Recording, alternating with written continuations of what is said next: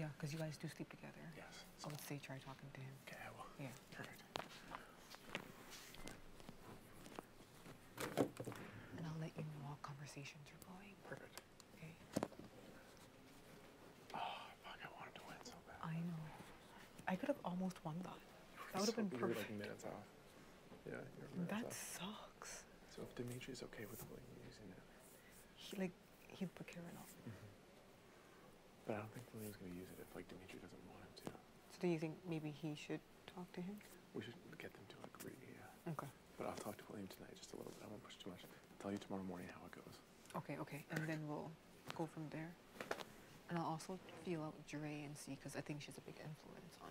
Yeah, for sure. Okay. Good night. Good night, hon.